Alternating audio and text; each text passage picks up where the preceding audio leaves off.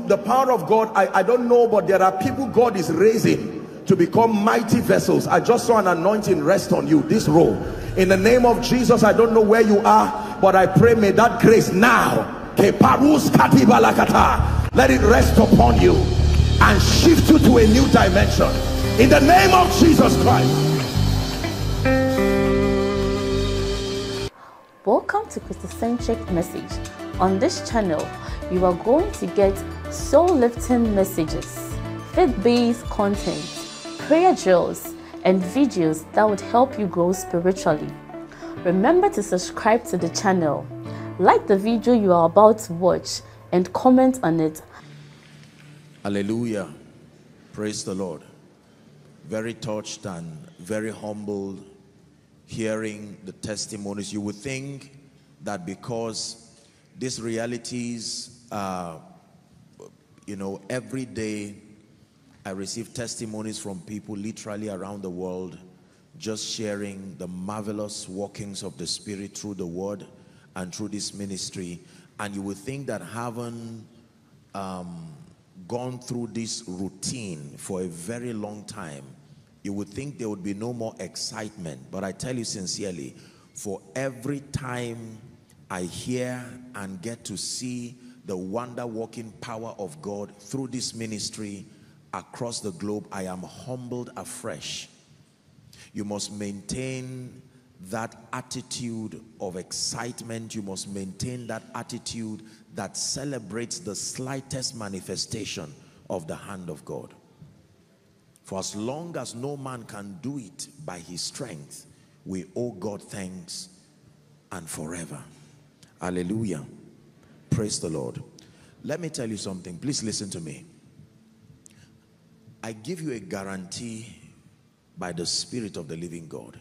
If you pay attention to the things that you are learning, week in, week out, if you make up your mind as a determination to submit yourself to these doctrines and this truth, I give you a guarantee based on the integrity of the word of God, you will never live an ordinary life. Believe me, believe me.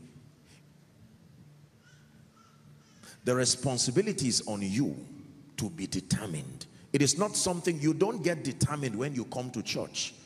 You make up your mind. God giving you the grace that I will submit to these truths I'm not going to come and argue. I'm not going to come and try to tamper with these spiritual equations. I am childlike enough to receive with meekness, like the Bible says, the engrafted word. The Bible says that the word of Christ should dwell in you in all wisdom. We're not going to become great just by wishing we're not going to be able to do so much for the kingdom just by blind desire. It takes more than that. There is a pathway according to Jeremiah chapter 6 and verse 16. The Bible says to stand in the way. That ancient path, it says to ask for the old path. Where is the good way? And then it says to walk therein and you shall find rest for your souls. So every time I come here for koinonia, whether it's here in Abuja or any anywhere at all, I am I am I come with a determination and I come with a safe assumption that everyone who would be under the influence of my voice would have made up their minds to receive, not just hear. Hearing and receiving are two different things. Make up your mind to not just be a hearer, Oh, I'm writing, I'm writing. Be determined. A student's kind of determination. I am receiving truth that is consistent with scripture, backed up by the presence and the power of the Holy Spirit. First, to help me know the Lord and love Him more. Listen carefully. This is the protocol. Number one, in order of priority, is that my assignment here is to fuel your desire for the things of God. That is my primary assignment in order of priority. That you should never be part of this vision and not love Jesus and not be passionate about the things of God. So, your heart and your commitment and your fire, number one. Number two, that you are able to understand the systemic character of God, the structure of the kingdom, that nothing just happens. And then to submit yourself to the truths that make for transformation. Transformation, metamorphosis. You are moving from one state to the other, superior versions of yourself, so that the version of you that came is not the version that remains. You should never be the same person who came to church and then you return back as the same person. No, no. Nobody meets with the word of God sincerely and returns back the same. No, you should return wiser. You should return better. You should return with a greater sense of illumination. John 1 5, and the light shineth in darkness, and the darkness comprehended it not. So I want you to make up your mind. If you are yet to do so, make up your mind, inspired by the Spirit and this charge that every time I come for koinonia or every time I invite people to join me, that includes those who are following from around the world. Make up your mind to be a student. Submit yourself to knowledge. Submit yourself to doctrine. Submit yourselves to truth. Be malleable enough to allow the word of God come. Not just to inform you. Not just to be an addition upon the negative templates that may have been in your mind. You must submit to the word of God. There are things you will hear that are a reminder. There are things you will hear that are a new spiritual information. There are things you will hear that is a tool for deliverance. Largely, deliverance through transformation. Now, we come from different cultures, we come from different, um, you know, we've gone through different experiences. And when God brings this convergence, listen very carefully, you must submit yourself to learn as though you do not know anything. This arrival mentality is why many people do not receive from the Lord. Are we together? So when you come before the rabbi, the rabbi being the spirit of God, not just the vessel he's using, the spirit of God. You must be intentional. See the value, listen carefully. See the value behind the truths that you learn. That every spiritual truth, every spiritual principle you learn has value to your destiny. All wise, not just material value. That is the least the peace and satisfaction that comes to you knowing that you are walking in dominion. Ignorance is dangerous. It keeps you in fear. It keeps you in doubt. The bible calls knowledge and wisdom stabilizers. It says they shall be the stability of your times. Hallelujah. Every time the word of God is about to come, beware of the following. Number one, distraction because Satan wants to fight you from receiving the word. You can be in a meeting and not really be there. Distracted by all kinds of things whether it's your electronic device or whatever it is. Let your mind your spirit your soul your body be there with a determination to learn. Hallelujah. Yes. Number two familiarity. You have to be careful Never get to a point where, oh, you think I know. John chapter 3 verse, then you help the preacher say 16. You will be surprised that it is 16, but you will never learn anything. Hallelujah. Yeah. Approach the word of God with the passion of a child. Jesus was speaking about the kingdom and he said, let the little children come to me it says do not forbid them for for such. That means it will take that that level that attitude being childlike to receive the things of the kingdom. As for me i remain committed under god to make sure that every opportunity god grants that i do not waste your time shadow boxing it is my commitment under God to ensure that every time we are gathered like this, you are exposed to sound doctrine that is consistent with the template given by the apostles, consistent with the recommendations of scripture, cut across several divides to the end that we be built and established holistically. The key word, holistically. Lopsided spiritual growth will end us in all kinds of imbalances like we see across the body of Christ. I will never be the kind of preacher who will come to teach you on spirituality and your passion for God and your love for God and ignore the need for you to rise to a position of kingdom influence where your voice be heard and that you are relevant as far as kingdom come is concerned. God, according to scripture, is mindful of every aspect and every dimension of our lives, cutting across mental transformation, fire and passion for spiritual things, the supernatural, finances, peace, all wise. And this we will do as God grants grace. My part is to remain committed. Your part is to remain intentional about reception. So whether you're in the main auditorium or any of the overflows outside or following from across, you know, make up your mind. Every opportunity you have to listen to the truths that come from this altar, be determined to receive them as the words of God to you through a man. Are we in agreement? So one more time, I'd like you to pray tonight and ask the Lord for illumination. The light shineth in darkness. Go ahead and pray. Our destinies are at the mercy of the truths that we know. Is someone praying?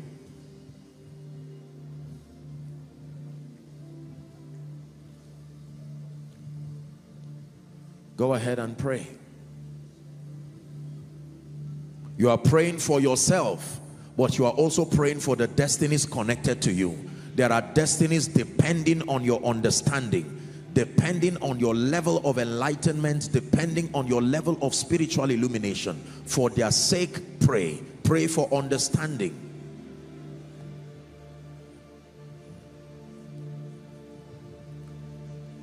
Pray that the anointing that backs the word of God will fall upon you whilst the word of God is taught.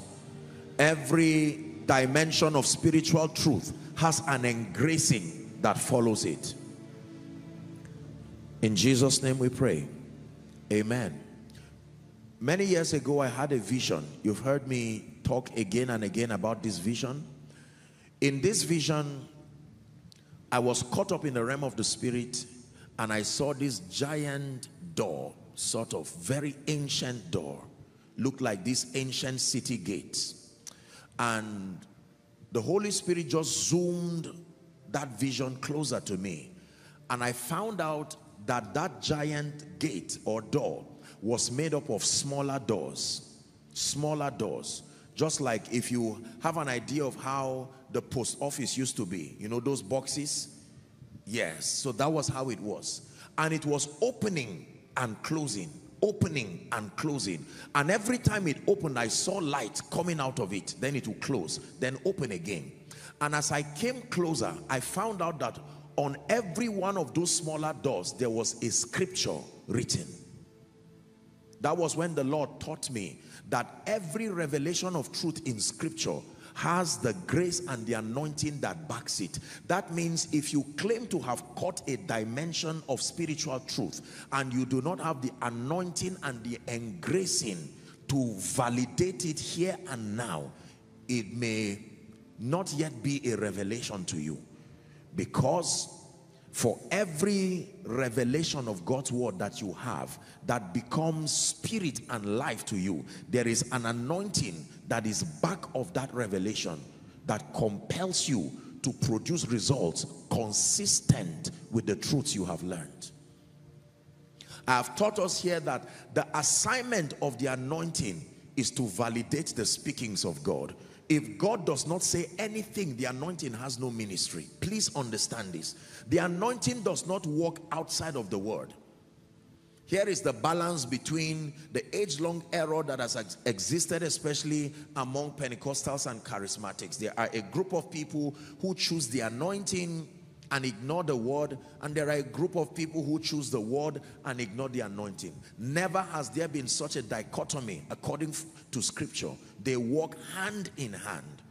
The anointing only begins its operation after the word of God has been sent forth.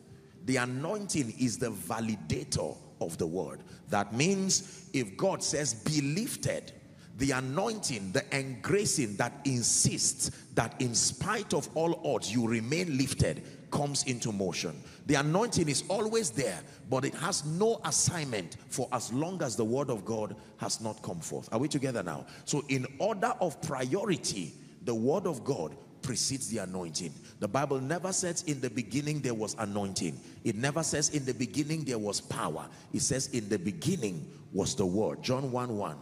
And the word was with God, and the word was God. Jesus Christ called himself the Christ of God. But then his primary name is the Word of God. Are we together? Amen. So tonight, I'm here again as a faithful spiritual chef to serve us a menu in the spirit that makes for nourishment, that makes for growth, according to Jeremiah chapter 3 and verse 15 it says, and I will give you pastors or shepherds according to my heart, which will feed you. So every man of God, according to scripture, is a spiritual chef. And the assignment of this spiritual chef is to make sure you combine the ingredients accordingly. You don't cook in the presence of the people. You prepare the meal and when they come, you never call the people until the feast is ready, according to scripture. Is that true? And so when all things are ready, then you go to the byways and the highways and you compel the people to come. This may be an encouragement for a man of God. Here, probably, it is important that we sustain the grace to be diligent. Ministry is serious business just because we have advantages like the anointing, the spirit of wisdom, it does not mean that we ignore or negate the need to be students, to study, to be diligent, to be sound in doctrine. Here's how the Bible puts it. It says, study to show yourself approved unto God, a workman that needs not to be ashamed, rightly dividing the word of truth. So if you're in ministry here or God is calling you into ministry, realize that beyond titles, beyond whatever ministerial office, you are mandated by God. Every man of God, every man of God who participates in the ministry of building men must be a teacher. I repeat, every man of God who participates in the ministry of building men must be a teacher. The teaching ministry is the exclusive platform that makes for the growth and the maturity of the saints. And if for any reason that man of God is not a teacher, you must unashamedly outsource a sound teaching ministry that becomes the pillar for growth and development. Are we together? Amen. Tonight, I am teaching on a subject that I believe would bless us all the house of God.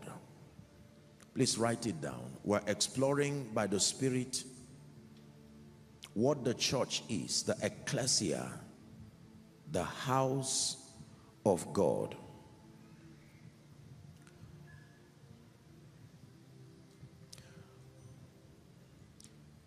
Every Sunday, every Wednesday, Tuesday, or every other day, especially in Africa, we have people moving from their homes to Christian religious places of worship and on average most believers will tell you I am going to church. Is that true? Where are you? They say I am in church. And the word church has been seldom understood by many believers. And um, we've had preachers here and there try to bring illumination to the subject of the house of God and the church.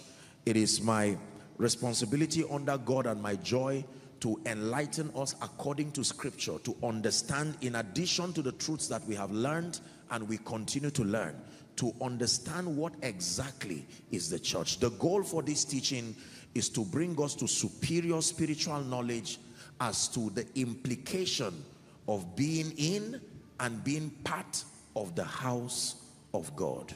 Are we blessed? Genesis 28.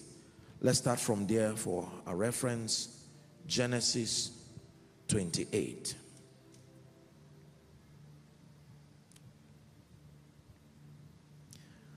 Blessed be the name of the Lord. Let's begin our reading from verse 10. This is a scripture about Jacob and his encounter with the God of heaven. The first encounter, he had two principal encounters. The first was in 28, chapter 28. The second was in chapter 22. Having been in Laban's house for over 20 years. Now the Bible says Jacob went out from Beersheba and went towards Haran. Uh -huh. And he lighted upon a certain place and tarried there all night because the sun was set. The Bible says, and he took the stones of that place and put them for his pillows. Now, I don't know how he slept on stones. And lay down in that place to sleep.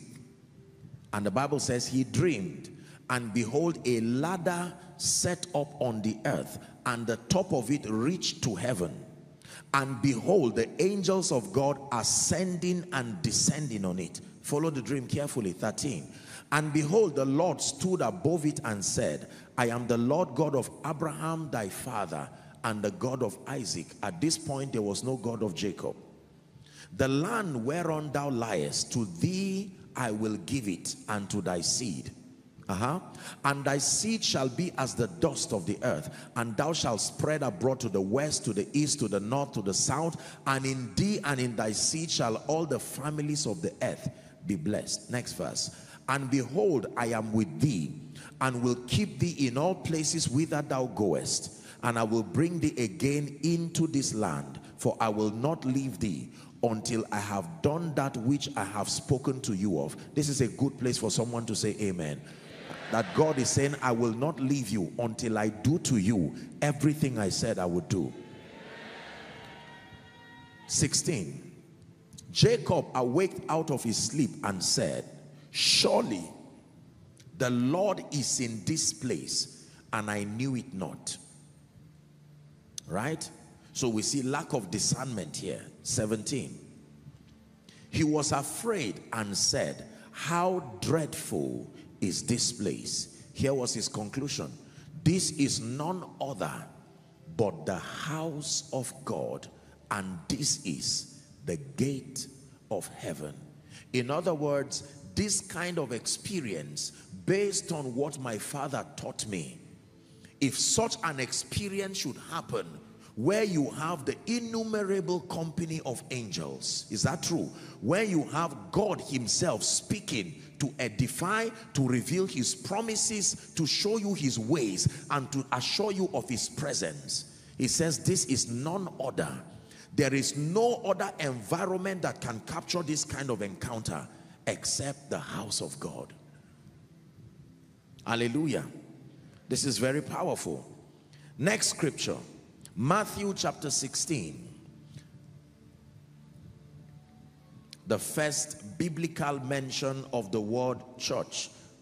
From verse 13, Matthew 16 and verse 13. Jesus was with the disciples and the Bible says he came into the coast of Caesarea Philippi and he asked the disciples. So the revelation of the church according to Jesus began with a question. What is the question? Who do men say that I the son of man am? His identity as the son of man. And they said some say that thou art john the baptist. Some say elias elijah now. Some say jeremiah. Some say you are one of the prophets. And then 15 he said unto them but whom say ye that i am? That means these people are giving their propositions because they are far they are not close. They've not had the privilege of proximity. Now that you have been with me, we've eaten together, we've gone for crusades together. What is your conclusion about me? And Jesus Christ was amazed that none of them could speak. All of those multitudes, the 72, the 12, now they stood and they were completely in limbo, not knowing what to say in response to that question. 16. And Simon Peter answered and said, Thou art the Christ. Thou art the Christ, the Son of the living God. 17. And Jesus answered and said unto him, Blessed art thou, Simon, son of Jonah, for flesh and blood has not revealed it unto you, but my Father which is in heaven. Now he makes a very strong statement, and I say unto you, Thou art Peter, and upon this rock I will build my church, and the gates of hell shall not prevail against it. Please keep that scripture there. It says, You are Peter, and upon this rock. Now, I'm not here to bring up theological debates. Many people have said the rock is Peter, many people have said the rock. No, no, no, no, no. It's very clear from scripture. He says, You are Peter, and upon this rock, what rock? Upon this revelation, upon this understanding you have had that I am Christ, the Son of the living God. Are we together now? Yes. Upon this revelation, I will build my church. And if allowed to be built by me, it will be so formidable that the gates of hell shall not prevail against it. Are we still together? So Jesus here is speaking about the church. He made mention of the fact that more than just dying for the sins of the world, that he came to inaugurate an institution, he came to inaugurate a phenomenon, if I would call it, called the church. And he said that this entity will be so formidable. Listen carefully.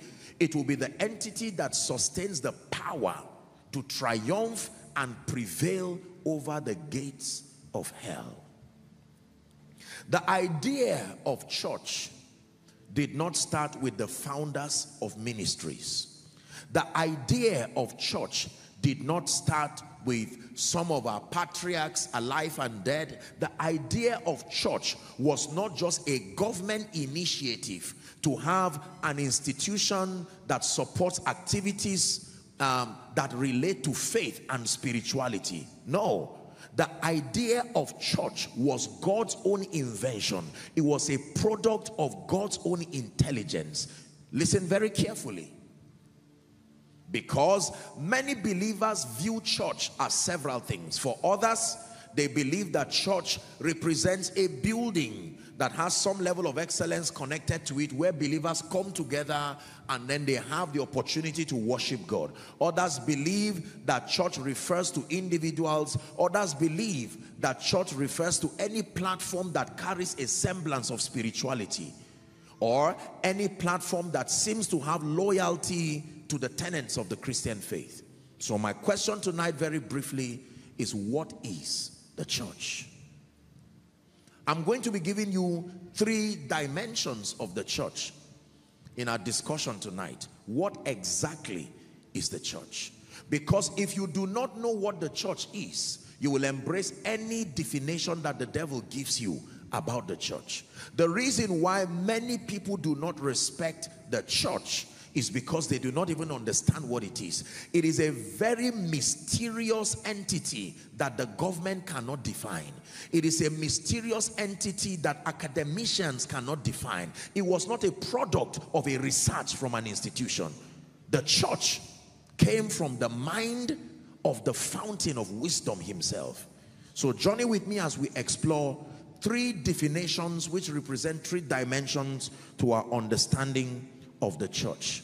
Number one, the first revelation of the church according to scripture is found in Jeremiah chapter 51 from verse 20. Please give it to us. Jeremiah chapter 51 from verse 20. It says, Thou art my battle axe and my weapons of war. For with thee I will break in pieces the nations, and with thee I will destroy kingdoms. Uh-huh. It says, and with thee I will break in pieces the horse and his rider, and with thee I will break in pieces the chariot and his rider. And with thee I will break in pieces man and woman. With thee I will break in pieces old and young. With thee I will break in pieces young man and the maid. Last verse. I will also break in pieces with thee the shepherd and his flock. And with thee I will break in pieces the husbandman and his yoke of oxen. With thee I will break in pieces captains and ruler. Is there any class of society that was missing here? None. You are my battle axe. I am using you. So the first definition of the church, write it down please, that the church is a spiritual strategy. More than a people, the first revelation of the church that I want you to have is the church as a spiritual strategy, an invention from God's intelligence, a spiritual strategy, listen to me, mandated to be used by God as the only tool that is able to purge, to cleanse, to build, and to reveal Christ and his purposes in its fullness. This is the church. The church is a strategy. For instance, if um, if I have a flat tire or I have a, pro a problem with my car and I'm unable to move it, I can hire another car that will help to drag it to a place where it will be fixed and a strategy is usually invented where I can connect, is that true? And connect with a moving car that is alive, a towing van, and then connect to the vehicle and the towing van pushes it. That, that is a strategy to remedy for something. The fact that the church came into being is already proof that there was something that was not correct. Are we together now? So the church has come as a spiritual strategy to remedy a condition, to remedy a situation. There are names that were called in scripture. One of it is light, another is salt. Jesus Christ himself called us light and salt. That immediately suggests that for us to be called light means there is darkness. For us to be called salt means there is a level of tastelessness somewhere and lack of preservation. So the church is a spiritual strategy. The church, in fact, is the only spiritual strategy that sustains the ability to reveal Christ in his fullness and to bring him glory. Please write it down. The only spiritual strategy that has the capacity to reveal Christ, to subdue principalities and powers. Oh, this is powerful. Thou art my battle axe.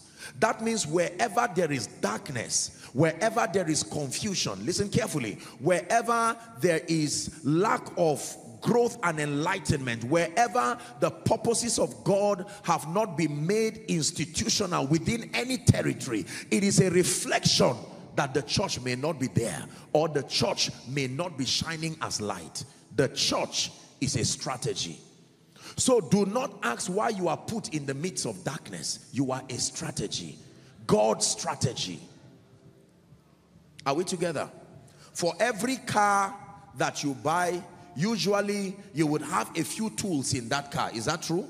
Most people would have a toolbox containing screwdrivers and and and um, you know and um, spanners and all of those things. You would have an extra tire somewhere in the car and you would have a jack you know to help you if you have a flat tire. All of those things are tools and they are strategies to make sure that for no reason do you stop moving forward if you need to so when you have a flat tire, what do you do? You go to the back of that car and open up the toolbox and you begin to effectively use the tools that will help maybe replacement. There are times that you can bring out an extra tire that helps to move the car. There are times that you can bring out all kinds of tools.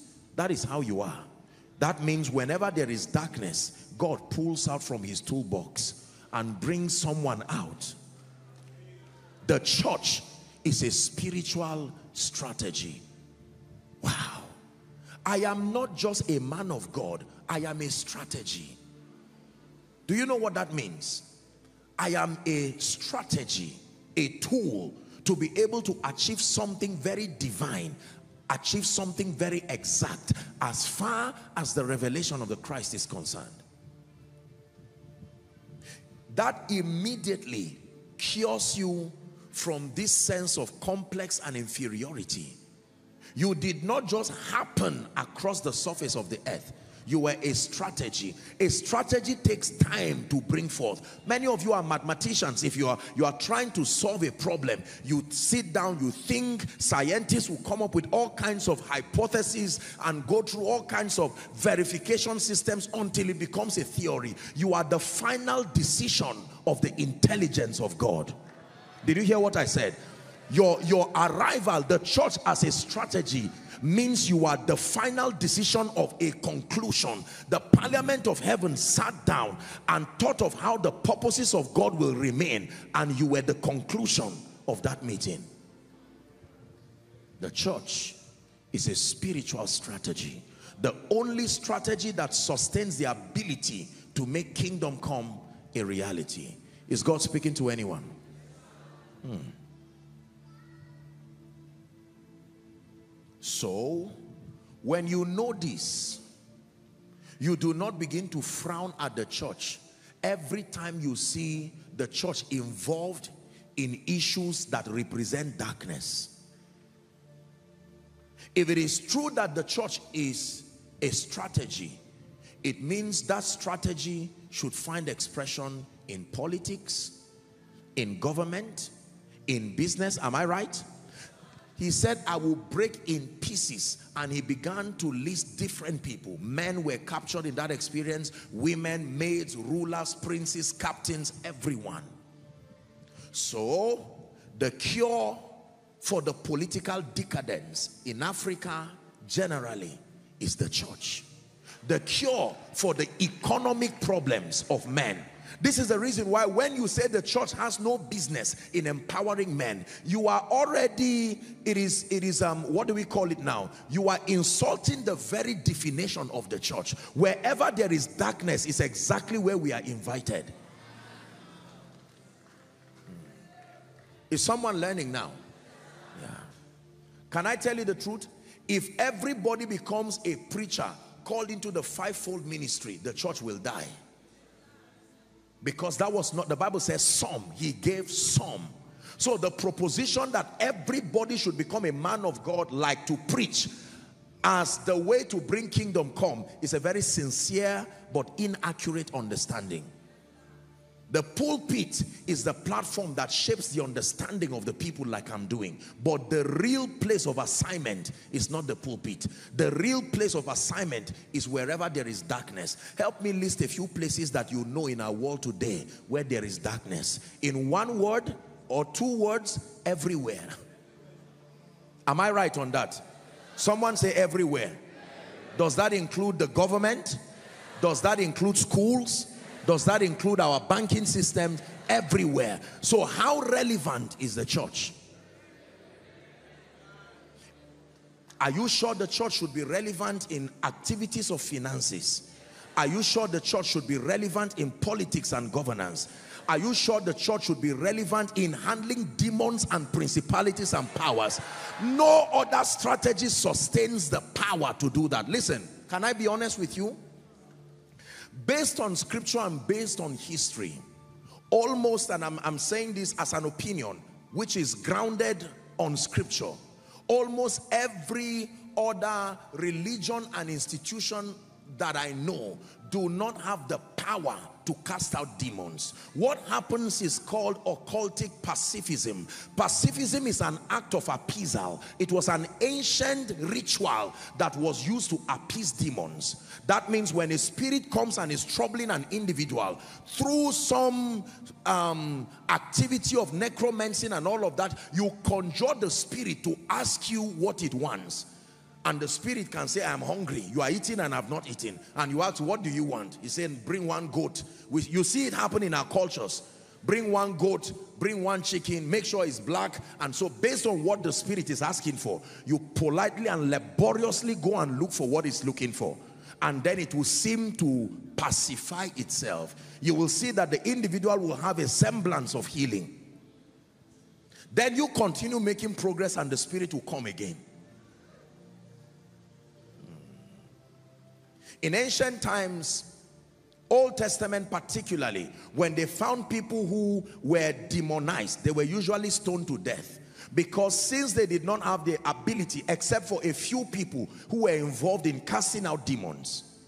And the art of deliverance or, or casting out demons was not something that was really understood. You see from scripture. So when Jesus showed up as a model of the church. And there were demonic people, instead of killing the people, he could neatly with surgical precision separate the influence from the individual.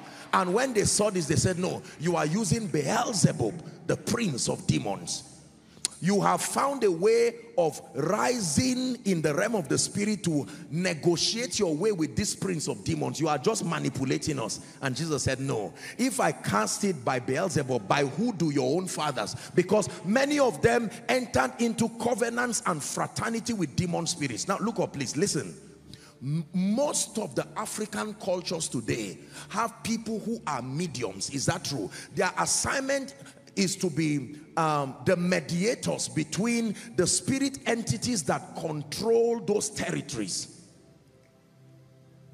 We have all kinds of names, but they are all the same.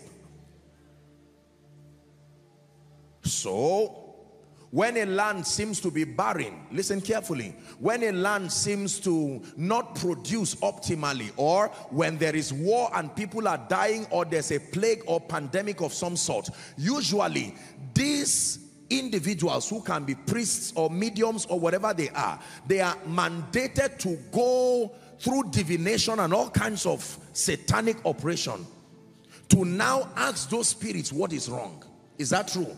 And to do that, they have to use divination and conjure these spirits. Should I teach this now? But listen, listen. The only way you move spirits from one safe location according to them to another safe location is to simulate the habitation of that spirit. Let me give you an instance. Now, we will never glorify the devil in the name of Jesus. But say I were not a believer and say I'm some idol worshiper in the village somewhere. If I want to call a spirit from wherever it is to a festival that is happening, do you know what I need to do? My first assignment is to study the habitat of that spirit spiritually. And then through these sacrifices I simulate the same environment of that spirit. It can now live wherever it is and come right there and still feel at home. This is the reason why based on that same principle God is comfortable to be in heaven and yet live in your heart. Because your heart is a simulation of the throne so he can stay comfortable in your heart the Holy Ghost has never complained living in you Dearly beloved, I hope you were blessed by this message. Do not keep the video to yourself. Share to as many as you can to help them bless. Check our homepage for more of our messages. Subscribe to the channel, comment on it, like it.